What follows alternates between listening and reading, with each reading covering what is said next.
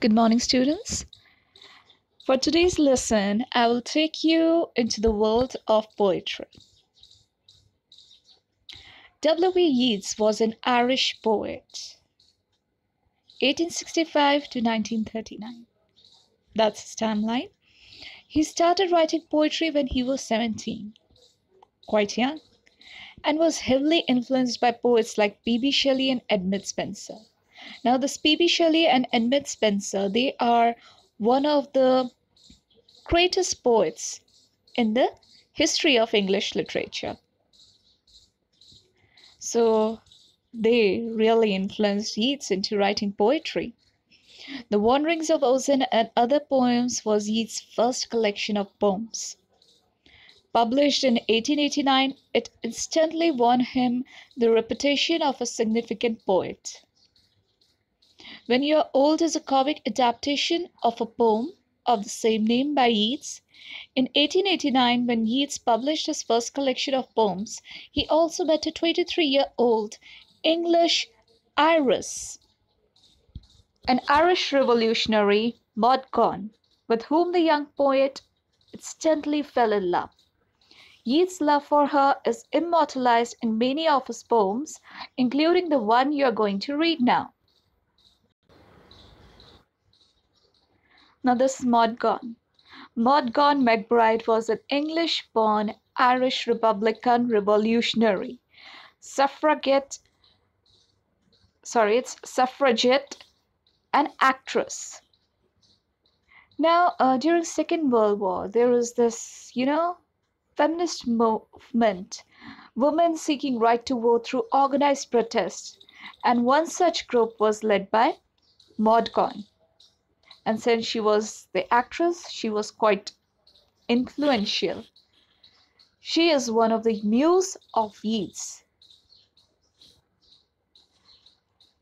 Let's look at the poem. When you're old. When you're old and grey and full of sleep, and nodding by the fire, take down this book and slowly read and dream of the soft look your eyes had once, and of the shadows deep.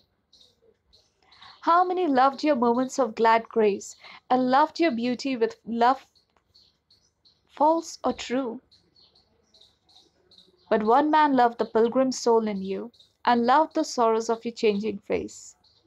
And bending down beside the glowing bars, murmur a little sadly, how love fled and paced upon the mountains overhead and hid his face amid a crowd of stars.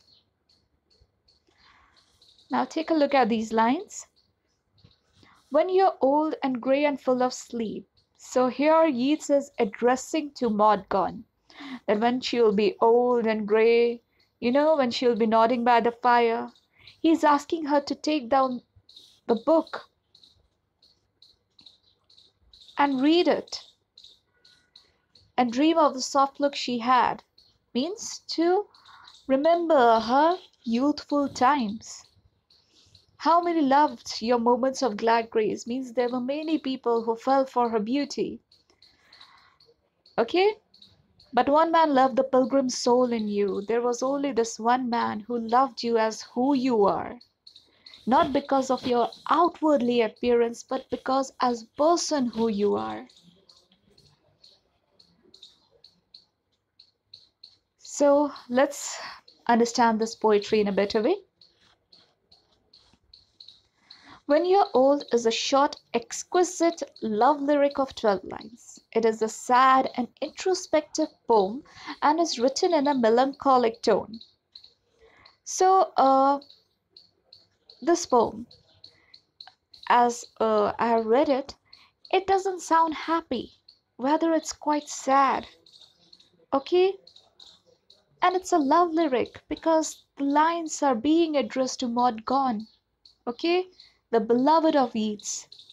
The poem is in the form of a direct address by a lover to his lady love. In the poem, there are three stanzas of four lines, each with a constant rhyme. The rhyme scheme hints that the speaker lover tries to tell her that his love will remain constant even when she grows old. Look at this picture.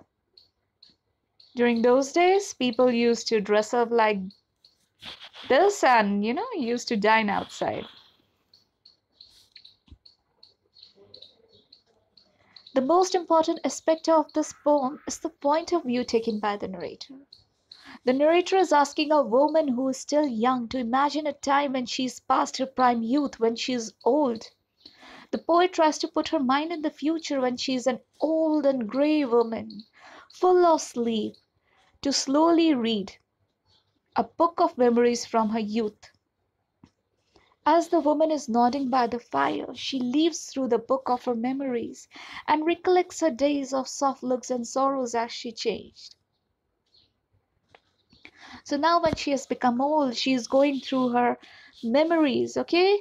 She's turning the pages of the book of her memories and she's recollecting her days when her eyes had soft looks. But with time, you know, her face, you know, with time, we learn a lot of things in life. We face different situations. And when we grow old, you can see the reflection of those experiences of life on the face.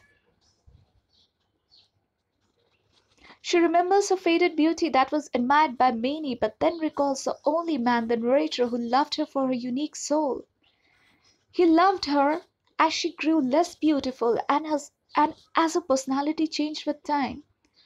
So Yeats is saying that, you know, the people who were, you know, admired her for her beauty, okay, those were all superficial. They loved her outwardly appearance, but the poet loved her as who, as who she is. The bird's glad grace expresses that when she is young, beautiful, and in her best moments of life, many will be interested in her. But the love for her will be just false or superficial love. However, the narrator will love her anyway, no matter what happens to her beauty. Line and love the sorrows of your changing face suggests that when she gets old, her face gets shrunk so her face looks different, but he will just love her with the same love he always had. Okay? He loved her when she was youthful and he loves her still even she has become old. There's also a contrast between glad grace and sorrows of your changing face, which suggests that while the others love her in her happy times, she will love her every time, including the worst ones. The phrase pilgrim soul in the line, but one man loved the pilgrim soul in you, refers to the long walk that her soul has had, searching for real happiness but really being alone. Now, in our life, what we search for? A happiness. And in this search, we travel far into our life. And this search and traveling is done by ourselves, so we are alone.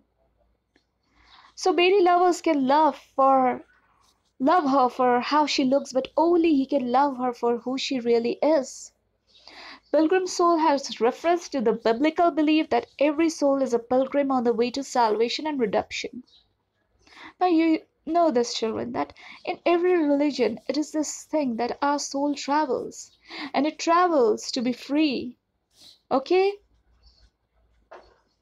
for liberation. Now look at this stanza to your right, and bending down beside the glowing bars, murmur a little sadly, how love fled and upaced upon the mountains overhead and hid his face amid a crowd of stars. Now in this stanza the speaker exhorts the loved one to remember him in later years as she sits beside the fire and bends over the embers of the fire. The word murmur suggests a whisper. Now, murmuring is done by old people. You know, their sound gets quite different. That shows that she has no passion or zest left. This adds to the imagery of old age. A little sadly suggests that in later years, as she remembers the speaker, she should feel regretful because he's not there anymore. Okay? The poet uses the word love in all the lines in the second stanza and in the third stanza. Second line, he capitalizes the word love, giving it much intensity. And paced upon the mountains overhead and hid his face amid a crowd of stars. The pacing suggests that she was given a chance. As love waited for her, Yeats waited for her. It also suggests the gradual diminishing of the love, which may then wait over mountains for a while and then disappear. Now he's not there anymore. The narrator, the poet, is not there anymore. The phrase how love fled refers to the possibility that the speaker's love would just fly far away because she is not entrusted to his love. The Maud Gonne and Yeats and their unrequited love. The theme of When You're Old is unrequited love. The words are fundamentally a sad and final declaration of love by someone who appears to have lost hope that his devotion will ever be reciprocated. The voice is intensely personal and addressed to someone with whom he is closely familiar. And that's its beloved. That's all, folks. That's Maud Gonne sipping a cup of tea. I hope you all will read this poem again at home and try to give it your own unique imagination and understanding. All right? So, happy week ahead. Stay healthy, keep learning, keep revising. Bye bye.